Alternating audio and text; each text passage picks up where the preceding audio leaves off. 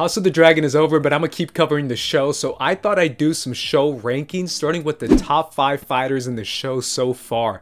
Now, I know it's a small sample size as it's only been one season, but as of now, these are my top 5 fighters in the show version of these characters, so make sure to keep that in mind. Starting with number 5, Corlys Velaryon, the greatest sailor who ever lived and the captain of the Nine Voyages. Corlys has seen plenty of action. Although he is older in the events of the show, we see that he can still throw hands in episode 3 during the Battle of the Stepstones. And next we hear of him, he gets injured in another battle against the Triarchy, but he was able to beat them back, this time with no help of Daemon and Caraxes, and Laenor and Sea Smoke, so even though he's older, he can still scrap.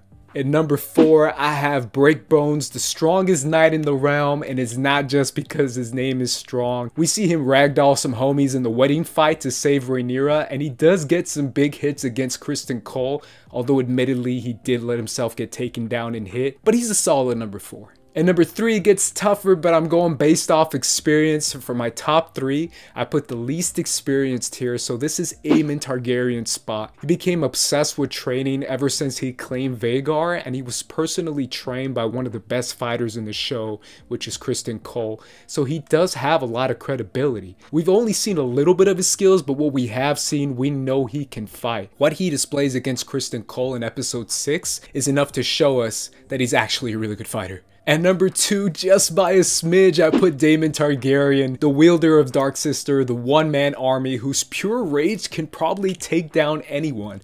However, when it comes to skill, there is a knight who I think still has the edge in the show. So although Daemon is the dragon on the battlefield, and there's no denying he might be one of the best fighters we've seen in Game of Thrones universe, he is a tough man to beat, but there is one man that beats him, and that is my number one spot, the wielder of the Morning Star, whose only good quality is his skills in battle. Sir Criston Cole is my number one best fighter in the show. Although the man is a clown in his daily life, on the battlefield, he's a versatile warrior with skills in various weapons and with the knowledge to take down an army. He's strong as hell and is crafty in a fight. The man is a tank and he is my number one fighter in House of the Dragon.